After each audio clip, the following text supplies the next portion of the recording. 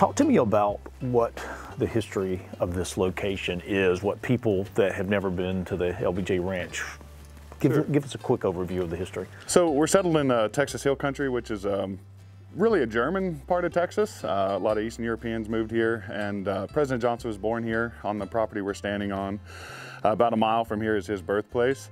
And uh, 1951, he moved back here as an adult and uh, traded a house with his aunt Frank to um, start his what we now know as the LBJ Ranch. So he reacquired his parents' property, his grandparents' property, and then kept expanding it. But this is where President Johnson lived and, and raised his, his Herefords. That was all over TV in the 1960s. So There was a purpose that he specifically wanted to start the, the herd. Why? Right. Uh, he was a master politician. So uh, I think in 1957 he bought his first registered Herefords, and I, I really believe that was to improve that political image, make him the gentleman rancher, the businessman, and get away from that image of being a small town, maybe a southern politician. When you consider the politics of the 1950s and 60s, he's he's really cultivating this image to his benefit.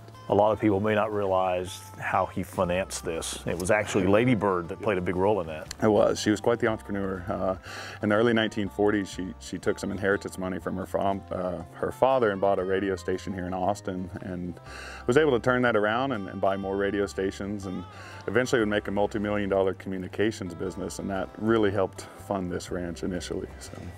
Give us the experience of how the Johnsons turned this over to the National Park Service. Why and when did that happen?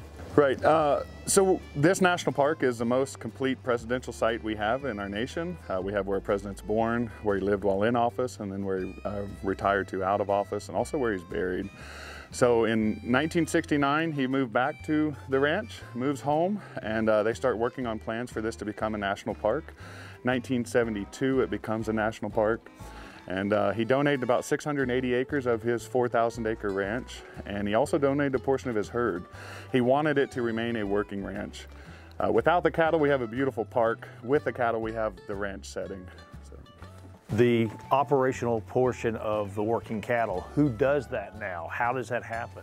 so the National Park Service actually runs the cattle operation. We own the cattle themselves. Um, LBJ's ranch foreman, who had been here since 1961, when it became a national park, he basically became a park ranger and kept on with his job. But he's the initial ranch manager. Uh, and like I say, today I work for the National Park Service. LBJ had a really unique way of branding his cows. Talk to us about that, why he did it.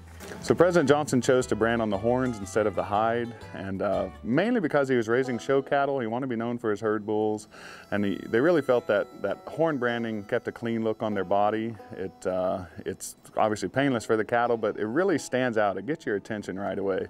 And if you know anything about President Johnson, uh, he was a showman. He wanted to give people a good show, and that, that horn branding really stands out and gets gets attention.